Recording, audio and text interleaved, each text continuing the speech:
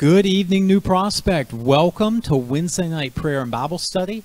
We want to thank you guys so much for tuning in. If we had any first time guests or visitors, welcome. Thank you for sharing your evening with us. Uh, we would love to share more information with you about who we are, what we do, and what we believe. Uh, we invite you to check out our website as well as our Facebook page. Uh, you can find a lot of information there, but if you still have questions, reach out another way send us an email, give us a phone call. We would love to answer any questions you might have and share next steps on how you can get involved with our family of faith here. But thank you guys so much for tuning in. Before we jump into Bible study, we, do want to just open it up for a time of prayer. Uh, we would love to be praying for you. Uh, we want to be praying for this great community that we call home. Uh, perhaps you have a request you would like us to be lifting on your behalf. If you can simply respond to this Facebook post or you can uh, reach out another way and, and make us aware of that, but we would love to be praying for you uh, tonight. Uh, at this time, let's go ahead and take a look at tonight's prayer list. Concerning our prayer list this week, let's please remember uh, Mrs. Doris Dalton, Mrs. Dot Mitchell, and Mrs. Barbara Hill uh, during their times of hospitalizations uh, and and rehab facilities as well. We have many members at home. Let's continue to remember each one during this time of need. We have lots of family and friends this week. We did add two names uh, to this list this week. We have added the name of Miss Casey Shelton and Mrs. Jackie Britt. Let's please remember uh, those ladies uh, during this week as well. We're expressing sincere Christian sympathy to the families of Mr. Ray Bruffy Jr., Mrs. Ida Compton, Mrs. Virginia Harris, Mr. John David Hedrick Sr., and Mr. Guy Toller. Please remember these families as they grieve the loss of a loved one this week. Our homebound of the week is Mrs. Ella Lane, and our student of the week is Ian Garner. Please lift them in prayer. Send them a note, send them a card, send them a text message. Let them know that we are thinking of them and lifting them in prayer. Let's also remember those on our at home list and those in autumn care, as well as in other assisted living facilities across our area. So many in need of our prayer this evening. Would you join me uh, as we go to the Lord? Lord, we come to you today and we thank you for another opportunity to gather together as a family of faith. Lord, whether it is uh, in person or online, Lord, you know the concerns of our hearts. So we lift them to you now. Uh, Lord, the names and the needs are many, but Lord, uh, you are uh, all knowing, and uh, Lord, we trust in your healing hand, we trust in your comforting arm. Lord, we trust in your will. And so, Lord, we just ask your blessing upon each one, Lord, that they would feel you, uh, your presence. They would feel your presence in their lives, Lord, that they would uh, Lord, just cling to you for all peace and understanding, for all guidance and direction during these difficult times. So, Lord, we ask your blessing upon each one. And now, Lord, as we dive into your word, Lord, we pray that you would continue to uh, speak to us. Lord, that we would learn more of your great love for us, Lord, that you would continue to equip and prepare us to be your hands and feet uh, Lord, in the lives of uh, those listed here on our prayer list, and Lord, the ones that aren't. Lord, throughout our community, Lord, that we would be prepared to share your love with others, and Lord, that uh, folks would see you in us. Lord, we praise you, we thank you, we love you, and we ask all these things in your name. Amen.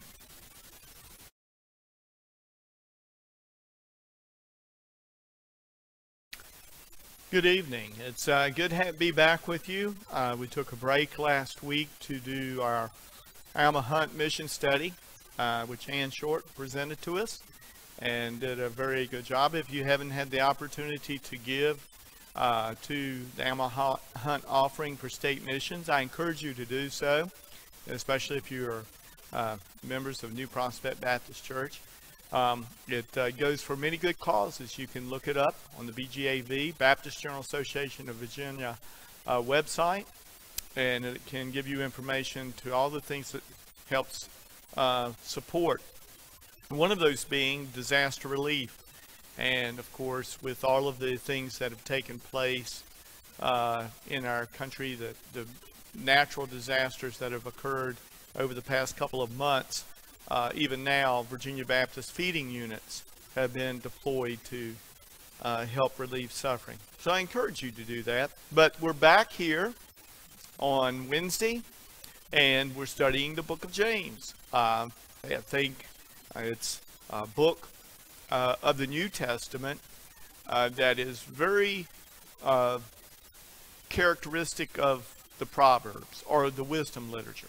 If you were to say there's one book in the New Testament uh, that seems to be drawn out of the Old Testament's uh, wisdom tradition, it would be the book of James.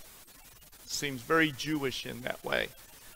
And tonight I'm going to have us read uh, James chapter 3, verses 1 through 12, but we're, we're basically going to focus on verse 1 and maybe bleed over into verse 2. So I hope you have your Bibles and you have them open to the book of James, uh, chapter 3. Beginning with the first verse we read, Not many should become teachers, my brothers, knowing that we will receive a stricter judgment. For we all stumble in many ways. If anyone does not stumble in what he says, he is a mature man who is also able to control his whole body.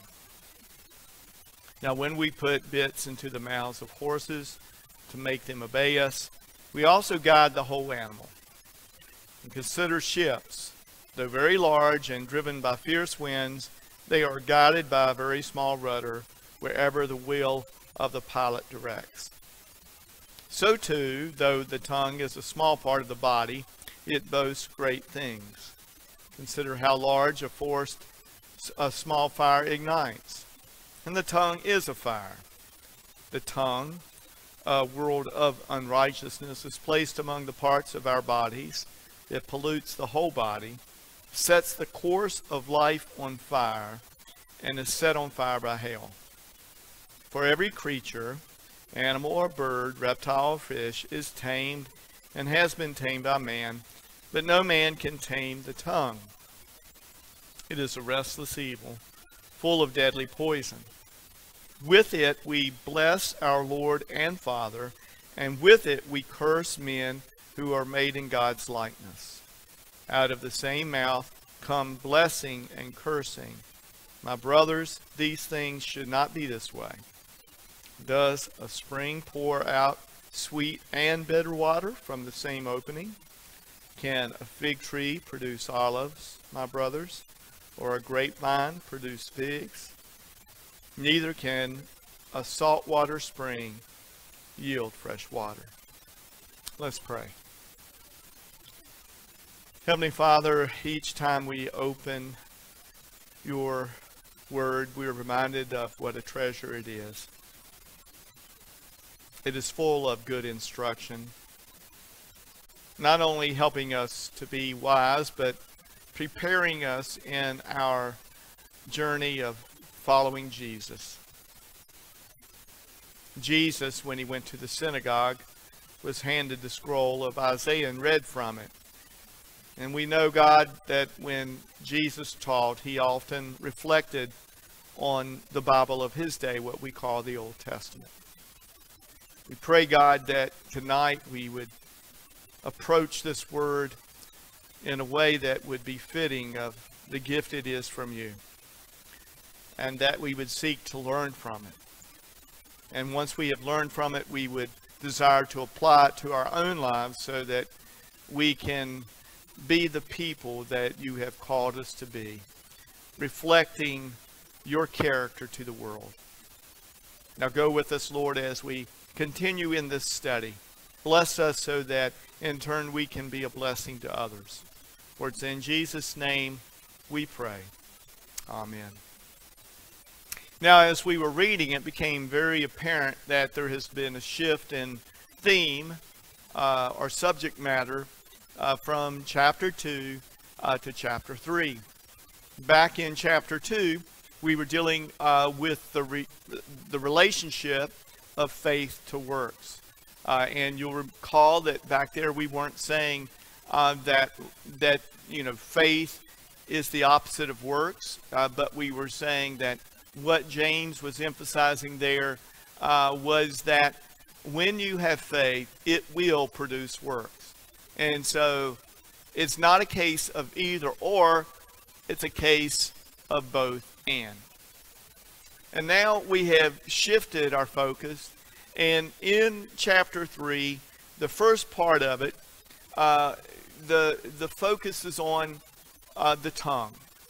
Now, and then if you look specifically, uh, that's that's what's found in in most of uh, verses 1 through 12. But if you look at it specifically and you go back up to uh, verse 1 and 2, which will be our focus today, you will discover it is the focus of the tongue in the use of the task of teaching, its use in the task of teaching.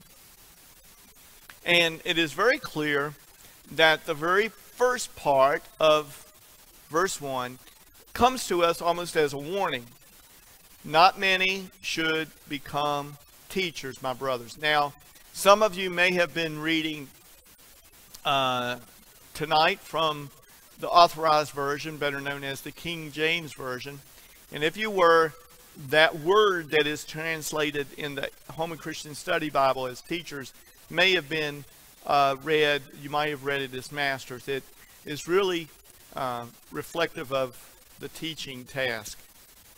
And the thing that we do know is that if you go back to the first century, excuse me, where James is coming out of, the, the, the culture, the times, uh, you know, that he is coming out of, that in not only the Christian church, but in Judaism, that teachers had and played an important role in the life of faith. Uh, we know this uh, because of the fact that when you when you went to the synagogue, most of the times you you were taught, and uh, and in many instances, Jesus himself is referred to as a teacher or a rabbi and he would get around himself his disciples. Almost every uh, teacher in that day, uh, no matter if he was uh, a Jew or, or a Gentile, many, many teachers, if you go back even into the, the Greek world, they would they would get gather around themselves disciples. And the only thing a disciple is is one who tries to uh, be taught or the attempt of of learning what the teacher has to say. And we know in the church today that the role of a teacher is vitally important.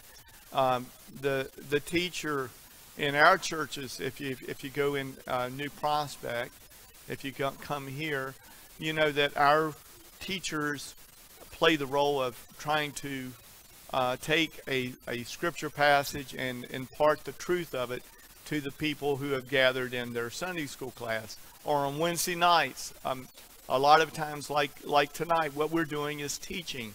I'm teaching, and uh, there's a women's group, and they gather together, and they usually go through a discipleship study or or a teaching study, and they're trying to learn. They're trying to become learners, and so what that is trying to do is is impart the truth of the faith in such a way that what is learned will impact lifestyle. And this is exactly the desire of the book of James because, as we've said before, uh, James is very reflective of wisdom literature. And if you go back to the book of Proverbs, you understand that uh, it is very heavy on what should be taught, but it's always teaching with a desired outcome. One of the probably easiest uh, proverbs that we remember is raise up a child in the way that he should go and when he is old he shall not depart from it right? So so you see the the emphasis on on what imparting things, teaching a child, raising a child, and then the, the desired outcome. And so we know that when we teach someone, the, it's not just that they can accumulate knowledge, but that they can apply what's learned to their lives. And that's what the emphasis is here. Now we know also that when you go back and you're reading the uh, the the New Testament, that the the gift of teaching or the responsibility of teaching was very important because if you go back and you look at it, you will discover that teaching is listed among uh, the leadership uh, positions in the early church. In Ephesians 4:11, Paul lists five leadership gifts: uh, the apostles, the prophets, the evangelists, pastors, and teachers. Now, one of the things that we see here is that it's a warning. Now, I don't know about you, but uh, today it can be a struggle to find people who want to teach. Um, it can be. It can be. In the early church, one of the struggles they have is there were too many people who wanted to teach. And so this could probably explain Paul's warning here. Uh, there, there may have been, remember, uh, when it talks, Paul gives those five leadership gifts. He talks about being apostles, prophets, evangelists, pastors, teachers. Paul would say that people are called to these positions. They, these are positions that the Spirit gifts for, right? If you go back and you um, and you read some of Paul's letters, he talks about the Spirit giving the gifts, and the gifts are used for the work of the ministry. And it, it could have been that in that day there were some people who were, you know, they, they maybe they viewed being a teacher as an honorable position, and they wanted to hold the honorable position. And so what they were doing, they were uh, attempting to become a teacher uh, without uh, without really being gifted for that role. Uh, that I don't want to use that as a, uh, you know, um, to frighten people away from taking on the task. It's just the realization that in uh, the the church uh, there is a need to have people who the Spirit has gifted uh, for the task. Now, he says, Not many should become teachers, my brothers. That's the statement. And here's the warning knowing that we will receive a stricter judgment. Now, it's interesting that uh, that James here uses an inclusive pronoun. He doesn't say knowing that you, he says knowing that we. And so it must be that James looks at himself as being a teacher. And quite possibly, as he writes out uh, this letter, uh, that he is looking at it as being part of his teaching task. And, and we, we do know uh, that sometimes that takes place. Paul was a teacher himself, uh, and he wrote letters uh, to churches as part of his teaching responsibility. You, you go back and you uh, look in in, in some of Paul's letters, and you know that he is following up some teaching uh, uh, uh, that, that he has already been uh, teaching on. Uh, look um, uh, in First Thessalonians. He says, about brotherly love. Okay, what's he about? What's he about to do? You don't need me to write to you because you yourselves are taught by God to love one another. But who else has taught him? He, go, he goes on to teach them, but we encourage you, brothers, to do so even more, to seek to lead a quiet life. He says this is what brotherly love looks like to mind your own business and to work with your own hands as we commanded you. As we commanded you. He's already taught about brotherly love. He says, We do not want you to be uninformed, brothers, concerning those who are asleep, so that you will not grieve like the rest who have no hope. Okay, so what's he about to teach on? He's about to teach on the resurrection, the resurrection of the dead. Okay? So Paul himself understood uh, what it meant to be a teacher. And so he didn't just teach when he was in person with people, he taught through the communication of letters. And, and sometimes, you know, that's uh, any uh, a lot of forms. Sometimes people teach today uh, online. Uh, you know, uh, they might post a blog. I know there's uh, some pastors in the Staunton River Baptist Association and and other denominations in this area, and, and they do a, a blog on, on on the internet. People go and they read it, and it's a teaching blog. So there's different ways of teaching, but whether the whether you're teaching verbally or, or, or whether you're teaching through the communication of the written word or typed word, whatever you want to call it, um, the task is a very important one because you're going to be judged by what you say and what you write, knowing that we will receive stricter judgment. Now, James is one who is trying to exercise the gift of teaching in a way where he understands the responsibility. You know, if you're going to be judged for doing something, it is because you know that the thing is important. You know that what you're about to do is very important. Now, how would you how would you describe the importance of the the, the teaching task? Uh, I, I, like what A.T. Robertson. A.T. Robertson is uh, a long time ago a Greek scholar, and he compares the teacher to a spiritual surgeon. He sa- he writes, "For they deal with the issues of life and death," um, and, and so you know it's a um, it's a very interesting thing that if he's if if you go to have a surgery done, you want to know that the person who is going to do that surgery has been well trained, that they're learned about uh, the the part of the body that they're going to operate uh, on you about. You know that they that they're skilled in it, that they're going to remove the right thing and not the wrong thing, uh, and that once they have completed it, that and you're sewn up, that this will bring health to you and and the outcome will be good and you will grow strong in your body. Well the you can see if robertson is comparing the teacher to a spiritual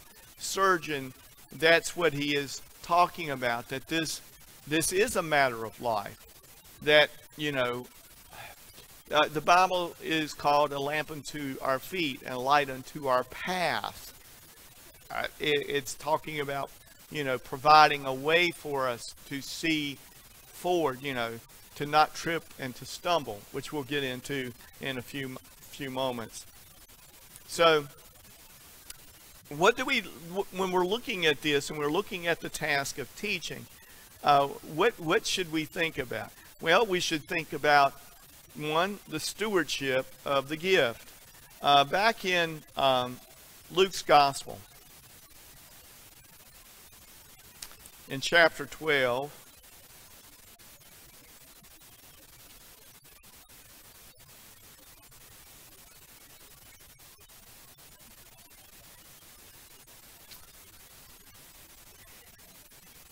Jesus is, uh, he's teaching this. He says, uh, The Lord said, Who then is the faithful and sens- sensible manager of his master? Will put in, uh, his master will put in charge of his household servants to give them their allotted food at the proper time. That slave whose master finds him working when he comes will be rewarded. I tell you the truth, he will put him in charge of all of his possessions. But if that slave says in his heart, My master is delaying his coming, and starts to beat the male and female slaves, and to eat and drink and get drunk, that slave's master will come on a day that he does not expect him, and in an hour he does not know. He will cut him to pieces and assign him to a place with the unbelievers. And that slave who knew his master's will and didn't prepare himself or do it will be severely beaten. But the one who did not know and did things deserving of blows will be beaten lightly. Much will be required of everyone who has been given much, and even more will be expected of the one who has been entrusted with more. That last that last little portion there, that, that verse 48, 1248, is what we're talking about here, the stewardship. Jesus many times reflects on this uh, when he talks about the gifts of the Spirit or the gifts given to a person. Uh, and you remember the story about uh, the, the three, um, three servants, and, and they were given these talents to use, and, and one's given, I think, 10, one's given 5, and one's given 1. And the one who is given 1, what does he do? He goes and buries it in the ground because he's afraid he will lose it, and he doesn't invest it. And what, what that suggests to us, and when we're looking at this, if we look at teaching as a task that is given to us because we have been given a gift, then the stewardship of that gift is what we should look to do. In other words, it doesn't matter if you're um, a 10 talent teacher, it doesn't matter if you're a five talent teacher, it doesn't matter if you're a one talent teacher. What matters is you take the talent you've been given and you do your best to invest that talent so that it produces something for the kingdom of God. So you have that. Now, there, there's this other, uh, you know, principle, if you want to use it, uh, that, that we find, uh, and that's the, the one of sowing and harvest, okay? Now, uh, it's it's interesting if you if you go back and you're looking at Paul's relationship uh, with Timothy, and uh, you you I think we can find it in First Timothy. Uh, Paul is writing his greetings to Timothy. now listen what he says in the greeting. The first part of First Timothy, uh, chapter one, uh, verses one and two. Paul, an apostle of Christ Jesus, according to the command of God, our Savior, and of Christ Jesus, our hope. Now look there. Paul says, I am an apostle, right? Uh, a court of Christ Jesus, according to the command of God and our Savior, Christ Jesus. Remember, I told you uh, being an apostle is one of the gifts uh, in the early church. But look what he writes in the, the very second verse. To Timothy, my true child in the faith, grace, mercy, and peace from God the Father and Christ Jesus our Lord. And um, uh, it's it's one of those things where Paul has sown sown into the life of Timothy his own teaching. Remember, Paul himself uh, had been, as a Pharisee, uh, a student of the the rabbi, great rabbi, great teacher Gamaliel. Uh, and, and he had, in turn, taught Timothy in much the same style and fashion as the Jewish rabbis did in his day. And he calls Timothy his true child in the faith, a true child in the faith. That means that he is invested in Timothy's life. Now, the, the fascinating thing is that if you go back and you read um, First Timothy or Second Timothy, uh, what you will discover is that uh, that he is, you know, he is doing uh, what what uh, he has been trained to do, the teaching he has experienced. He says, now notice if you go back to Second Timothy chapter uh, 1 verse 3 it says i thank god whom i serve with a clear conscience as my forefathers did when i constantly remember you in my prayers night and day remembering your, remembering your tears as I long to see you so that I will be filled with joy, clearly recalling your sincere faith that first lived in your grandmother Lois, then in your mother Eunice, and that I am convinced in you also.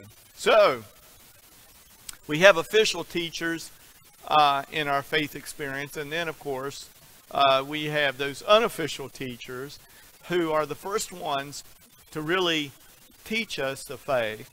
Uh, I remember uh, at um, Averett, where I went to school, my Old Testament professor, uh, one time was asked, uh, Where did you get your faith? In other words, somebody was challenging him and everything else. And, and what he replied is, I, I got it where everyone first gets their faith from my mama. And, you know, that's, that's a lot of truth there. Uh, but teachers, uh, just as uh, Timothy's mother and grandmother had been his early teachers in the faith, and he was, quote unquote, their child, because Paul had taught Timothy, he considered Timothy his, his child in the faith. And if you look in, in our church and you go back and you, you're privileged to open up some of the old pictorial directories, what is amazing is you look back there and you see many of these little children run, you know, in the pictures. They're they're part of the first and second grade and you know whatever, and they're being taught by these wonderful teachers. Like uh, I, I remember seeing a picture of Oscar Dalton, and he was. Uh, I, it must have been around Christmas time, and they were taking a picture of his class, and he was teaching uh, these young children uh, their Sunday school lesson. And, and you know, many of the people who Oscar Dalton taught uh, are now leaders here. The one, the one that I think of oftentimes is Betty Maddox and the way she taught. And she was a teacher at Hurt Elementary School, but she was a teacher here at New Prospect. And her life influenced the lives of many other people. And they, in turn, have influenced the lives of many other people. So you, you could say, like if I look back and I see Betty Maddox, and I know Betty Maddox uh, taught Faye Dalton. And of course, Faye uh, died about a year ago. But Faye taught many others, right? She taught many others.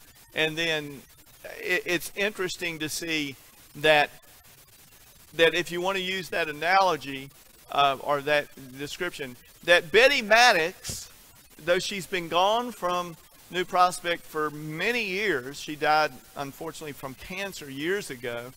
But Betty Maddox has grandchildren in the faith, still here many years later. And, and I, I guarantee you that uh, she rejoices, and she rejoiced in that thought that she had invested in the lives of, of, of people like not only Faye, but many others and they in turn invested their lives into the lives of others and and and the people you know, who had their lives touched by them are, are still doing that today. So wonderful thought there. So you have the stewardship of the gift, you have the sowing, and then the harvest, if you want to do that. And then you have the accountability, uh, which is found also in Romans 14 12. So then each of us will give an account of himself uh, to God. So what I want, want to tell you is that I don't think uh, I, I don't want anybody to say, well, you know, certainly God has not given me uh, the gift of teaching. Because sometimes, sometimes we don't know that we have a gift um, um, until we explore or examine, you know, the opportunities we have to use it. Now, hopefully, most of the people we have uh, teaching here have indeed been given the gift of God and feel committed to that task. But let me tell you what happened to me. Uh, many years ago, many years ago, before even uh, my son Mark was born, my oldest child, and uh, Ruth was a youth minister. My wife Ruth uh, was a youth minister at a church called Bethel Baptist uh, in Salem, uh, Virginia, and she was there for two years. So I know what it's like to be the minister's spouse. I've been on the other end of you know of all that. So uh, we just sort of changed roles a little bit. Uh, but when I went there, one of the things um, that they asked me if I would do, one thing I did, I, I helped lead RAs, Royal Ambassadors, back then. I helped do that. I was, uh, when we went there, uh, let's see, I was 26 at the time. And I was leading a group of youth Royal Ambassadors. But you know what else they asked me to do? They asked me to teach the sixth grade boys class. That's right. Brady, we would like for you to teach the sixth grade boys class. So I accepted the responsibility with great fear and trepidation. Now, Ruth and I had co taught uh, the fifth and sixth girls class at my home church, Garden City. But I've got a confession to make. I was sort of the window dressing on it. I just I was there to help Ruth along because she did most of the teaching unless she was sick, and I filled in if she was sick. But but what happened was, uh, well, that was actually later. But what happened at Bethel was that I was given the responsibility of of teaching the sixth grade boys. But I looked on that task. I was very frightful of it. But every week every week Bethel had a time uh, where uh, if you were a teacher, you were supposed to come and and you were to bring your material and you would go over the lesson for that coming Sunday. I can't remember if it was on a Wednesday night or a Tuesday night or whatever. And we would go. And so that's when you began your preparation in your dialogue with other teachers about the lesson, and they would give you input into how to present it to your class. So that's what we did. So I, I, would go in there and I would do it, and then I would go into that sixth grade class. I knew one thing. If you're talking about talents, especially at that time in 10, 5, and 1 talent teachers, I know where I was on that. You know, I was a one talent teacher. But I knew that I was taking that one talent and I was being a good steward of it. I was because of other people helping me and and encouraging me and helping me understand the lesson and how to present it.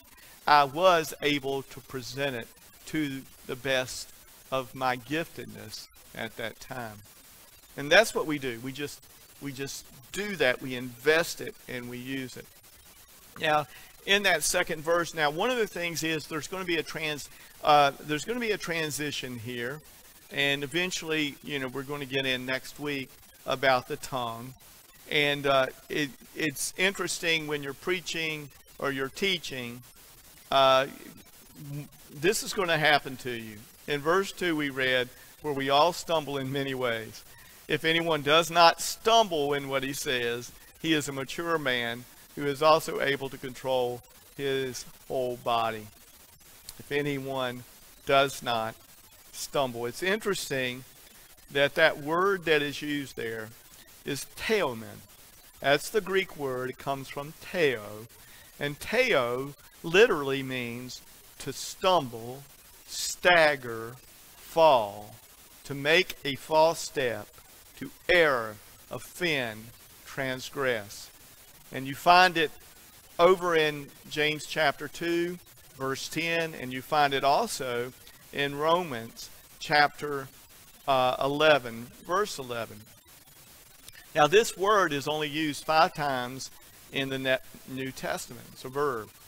And, uh, but the interesting thing is, I, I pulled out uh, the Theological Dictionary of the New Testament. K.L. Schmidt in that talks about it almost being this idea, especially in James chapter th- 3, verse 2, that um, it, it's like you stumble on the way to falling.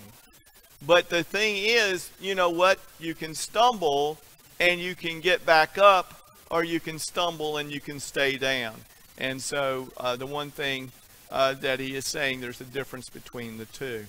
But ponder that for next week's uh, Bible study. We'll try to get more of the verses done next week. Let's pray. Heavenly Father, we do thank you for your word. We're thankful, God, for uh, the teachers uh, who have instructed us uh, in the past. Um, we're just we're just thankful for them. I, I can think on my my past. I remember uh, the couple, uh, Ronnie and Diane Shel- uh, Shepherd, who were so instrumental, Lord uh, in my life and when I was a, a young youth. Thank you for uh, for Diane uh, and uh, Ronnie for taking on that task of teaching me, which I know wasn't an easy one. Uh, I thank you, God, for the opportunity that I have to teach on Wednesday night. and to help people as they try to study and learn the Bible. I pray, God, that uh, even if I have not done it as well as others can, that I've done it as best as I can with the giftedness I've been given. And I hope other people, Lord, who feel uh, your calling upon their lives to teach won't be frightened by the warning here, but will be encouraged, knowing, God, that you maybe have given them the gift. And the one thing that we do with our gifts is that we nurture them so that they will grow, and then we will invest them so that others will grow. Help us, Lord, to be faithful in each and every gift that you give us, to invest it in such a way that the kingdom of God will be expanded and that you and Christ will be honored and glorified because it's in his name that we offer our prayer. Amen. God bless you. I look forward to seeing you uh, next week as we continue in our study of the book of James.